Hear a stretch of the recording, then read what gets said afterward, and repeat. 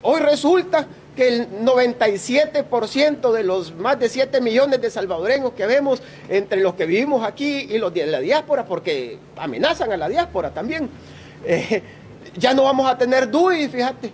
¿Y sabes por qué? Porque estos analistas lo dicen, que sigan ellos haciendo gala de la incapacidad que siempre tuvieron para darle respuesta a nuestro país. Nosotros tenemos que seguir adelante. Ellos ahorita, por lo menos en lo particular, y estoy seguro que a la mayoría, nos sirven como una divierta de todos los días.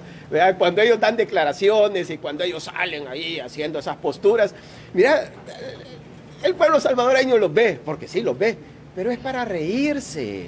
O sea, los vemos como payasos. O sea, en ese, en ese nivel es que nosotros lo vemos como un payasito que, que nos hace reír y que hacen, eh, que por cierto ya va a ser el día del payaso, lo vamos a celebrar y ellos van a estar incluidos ahí. Es una profesión muy noble que de verdad le da alegría y hace, saca una carcajada a, a, nosotros, a los salvadoreños. Pues ellos están haciendo lo mismo, ¿verdad? Ellos están haciendo lo mismo. Que continúen eh, no hay que callarlos, que sigan eh, dando todos esos análisis, porque el pueblo salvadoreño también necesita diversión.